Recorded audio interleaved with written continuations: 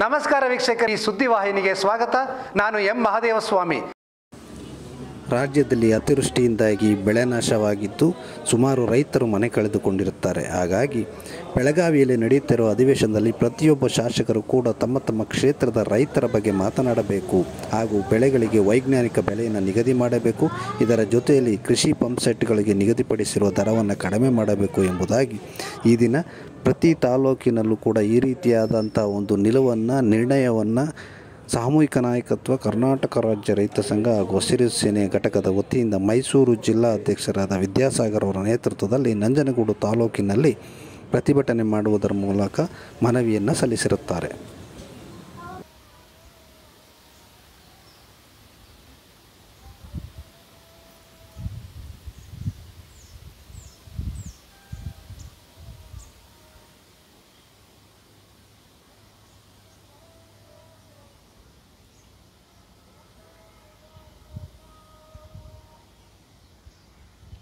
ಚರ್ಚೆಯಾಗಲೇಬೇಕು ಚರ್ಚೆಯಾಗಲೇಬೇಕು.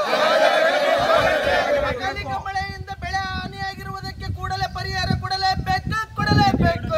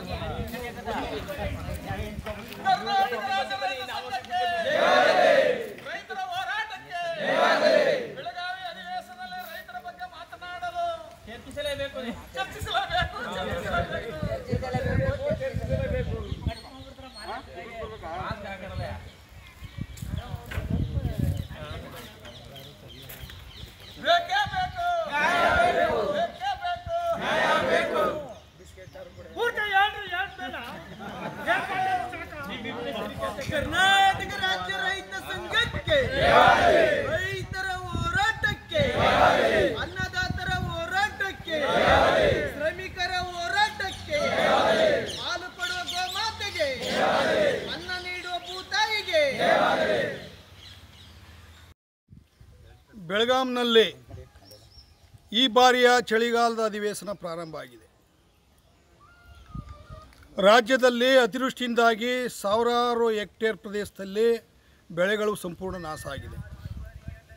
ಹಳ್ಳಿಗಳಲ್ಲಿ ನೂರಾರು ಮನೆಗಳು ಬಿದ್ದೋಗಿ ಹಳ್ಳಿಗರ ಬದುಕು ನರಕ ಸದೃಶ ಆಗಿದೆ. ಮತ್ತೊಂದು ಕಡೆ ಅತಿವೃಷ್ಟಿಯಲ್ಲೂ ಬಂದಂತಹ ಬೆಳೆಗಳಿಗೆ ವೈಜ್ಞಾನಿಕವಾದ ಯಾವುದೇ ಬೆಲೆಗಳಿಲ್ಲ. ಈ ಒಂದು ವಿಚಾರವಾಗಿ ಈಗಾಗಲೇ ಬೆಳಗಾಂನಲ್ಲೇ ನಮ್ಮ ಸಂಘಟನೆ ಪ್ರತಿಭಟನೆ ನಡೀತಾ ಇದೆ. ನಾವು ಪ್ರತಿ ಒಂದೊಂದು ಹಳ್ಳಿಯಿಂದಲೂ ಕೂಡ ಬೆಳಗಾಂನಲ್ಲಿ ನಡೆಯುತ್ತಿರುವ ಅಧಿ ಅಧಿವೇಶನದಲ್ಲಿ ಯಾರ್ಯಾರು ಶಾಸಕರು ಭಾಗವಹಿಸಿದರೆ ಅವರಿಗೆ ಭಾಳ ಸ್ಪಷ್ಟವಾಗಿ ಹೇಳ್ತಾ ಇದ್ದೀವಿ. ರೈತರ ಸಮಸ್ಯೆ ಬಗ್ಗೆ ನೀವು ಸದನದಲ್ಲಿ ಮಾತಾಡಿ. ಅತಿವೃಷ್ಟಿಯಿಂದ ಆದ ಬೆಳೆ ನಷ್ಟಕ್ಕೆ ವೈಜ್ಞಾನಿಕವಾದ ಪರಿಹಾರ ಕೊಡಿ. ಕಬ್ಬಿಗೆ ಬೆಲೆ ಕಟ್, ಬೆಲೆ ಕಟ್ಟಿಲ್ಲ, ಇನ್ನು ಇದುವರೆಗೂ ಬೆಲೆ ನಿಗದಿ ಮಾಡಿಲ್ಲ. ಕಬ್ಬಿಗೆ ಅವೈಜ್ಞಾನಿಕವಾದ ಬೆಲೆ ನಿಗದಿ ಮಾಡಿ ಕಬ್ಬು ಬೆಳೆಗಾರರನ್ನ ಬೀದಿಗೆ ತರ ಅಂತ ಕೆಲಸ ಮಾಡ್ತಾ ಇದ್ದೀರಿ.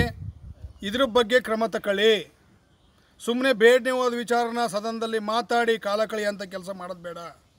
ನೀವು ಅದೇ ಕೆಲಸನ ಪುನಃ ನೀವು ಮಾಡ್ಕೊ ಬಂದದ್ದೇ ಆದರೆ ಹಳ್ಳಿಗಳಲ್ಲಿ ರೈತರು ನಿಮ್ಮನ್ನು ಗಿರವು ಮಾಡೋ ಅಂಥ ಒಂದು ಹೋರಾಟನ ನಾವು ಹಳ್ಳಿಗಳಲ್ಲಿ ಪ್ರಾರಂಭ ಮಾಡಬೇಕಾಯ್ತದೆ ಅಂತೇಳಿ ಇವತ್ತು ನಿರ್ಣಯನ ಮಾಡಿದ್ದೀವಿ. ಈಗಾಗಲೇ ವಿದ್ಯುತ್ ಖಾಸಗೀಕರಣ ಮಾಡಿ ವಿದ್ಯುತ್ ಪಂಪ್ಸೆಟ್ಗಳಿಗೆ ಮೀಟ್ರ್ ಹಾಕೋಂಥ ಕೆಲಸ ನಡೀತಾ ಇದೆ ಒಂದು ಕಡೆ.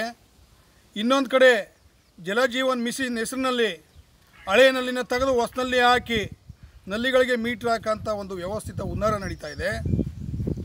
ಹಳ್ಳಿಗಳಲ್ಲಿ ಕುಡಿಯುವ ನೀರಿಗೂ ಕೂಡ ತೆರಿಗೆ ಹಾಕೋಂಥ ಒಂದು ಪರಿಸ್ಥಿತಿ ನಿರ್ಮಾಣ ಮಾಡ್ತಾ ಇದ್ದೀರಿ. ಇದ್ರ ಬಗ್ಗೆ ಎಲ್ಲ ಸದನದಲ್ಲಿ ಚರ್ಚೆ ಆಗಬೇಕು. ಹಳ್ಳಿಗರು ಇವತ್ತು ಕುಡಿಯೋ ನೀರಿಗೆ, ಹಸುಗಳು ಕುಡಿಸೋ ನೀರಿಗೆ ದನ ತೊಳೆಯೋಕ್ಕೆ ನೀರು ತಗೋತೀವಲ್ಲ, ಇದಕ್ಕೆ ತೆರಿಗೆ ಕಟ್ಟೋಷ್ಟು ಸಕ್ತ್ರ ಇನ್ನೊಂದು ಕಡೆ ಭಾಗ್ಯಜ್ಯೋತಿ ಕುಟೀರ ಜ್ಯೋತಿಗಳಿಗೆ ಹತ್ತು ಸಾವಿರ, ಹದಿನೈದು ಸಾವಿರ, ಇಪ್ಪತ್ತು ಸಾವಿರ ದುಡ್ಡನ್ನು, ಬಿಲ್ಲನ್ನು ಬರೆದು ವಸೂಲಿ ಆಗಲಿಲ್ಲ ಅಂಥೇಳಿ ಆ ಒಂದು ಮನೆಗಳಿಗೆ ವಿದ್ಯುತ್ತನ್ನು, ಸಂಪರ್ಕನ ಕಟ್ ಮಾಡಿ ಬಡವ್ರ ಮನೆಯನ್ನು ಕತ್ಲಕ್ಕೆ ತಳ್ತಾ ಇದ್ರಿ ಬಗ್ಗೆ ಎಲ್ಲ ಈ ಸದನದಲ್ಲಿ ಚರ್ಚೆ ಆಗಬೇಕು. ಇದ್ರ ಬಗ್ಗೆ ನಾವು ಇವತ್ತು ಮೀಟಿಂಗ್ನ ಸೇರಿ ಒಂದು ರೆಗ್ಯುಲೇಷನ್ನ ಮಾಡ್ತಾಯಿದ್ವಿ ಮತ್ತೊಂದು ಭತ್ತದ ಕಟಾವು ಯಂತ್ರಕ್ಕೆ ಕೆಲವು ದಳ್ಳಾಳಿಗಳು ಮೂರರಿಂದ ಮೂರುವರೆ ಸಾವಿರ ರೂಪಾಯಿ ವಸೂಲು ಮಾಡ್ತಾ ಇದ್ದಾರೆ. ಈಗಾಗಲೇ ಡಿ ಸಿ ಅಧ್ಯಕ್ಷತೆಯಲ್ಲಿ ಚರ್ಚೆ ಆಗಿದೆ. ಒಂದು ಗಂಟೆಗೆ ಭತ್ತದ ಕುಯಿಲ್ ಮಿಷಿನ್ಗೆ ಎರಡು ಸಾವಿರದ ಎಂಟುನೂರು ರೂಪಾಯಿ ತಗೋಬೇಕು ಅಂತ ಹೇಳಿ. ಆದರೆ ಕೆಲವೊಬ್ಬರು ಎರಡು ಸಾವಿರದ ಎಂಟುನೂರಕ್ಕಿಂತ ಹೆಚ್ಚಿಗೆ ಅಂದರೆ ಮೂರು ಸಾವಿರ, ಮೂರುವರೆ ಸಾವಿರ ವಸೂಲಿ ಮಾಡ್ತಾಯಿದ್ದಾರೆ ಈ ಥರದ್ದೇನಾರ ನಮ್ಮ ರೈತರುಗಳಿಗೆ ಕಂಡು ಬಂದರೆ ತಕ್ಷಣ ರೈತ ಸಂಘದ ಕಾರ್ಯಕರ್ತರನ್ನ ಸಂಪರ್ಕ ಮಾಡಿ, ಹತ್ತಿರದ ಪೊಲೀಸ್ ಠಾಣೆಗೆ ಕಂಪ್ಲೇಂಟ್ ಮಾಡಿ ಅದನ್ನು ಸೀಜ್ ಮಾಡಿಸೋಂಥ ಕೆಲಸ ಮಾಡ್ತೀವಿ ಅಂತೇಳಿ ನಾನು ಎಚ್ಚರಿಕೆ ಕೊಡ್ತಾಯಿದ್ದೀನಿ ನನ್ನ ಹೆಸರು ವಿದ್ಯಾಸಾಗರ್. ರಾಜ್ಯ ಸಂಚಲನ ಸಮಿತಿ ಸದಸ್ಯರು, ಸಾಮೂಹಿಕ ನಾಯಕತ್ವದಲ್ಲಿ ಕರ್ನಾಟಕ ರಾಜ್ಯ ರೈತ ಸಂಘ ಹಾಗೂ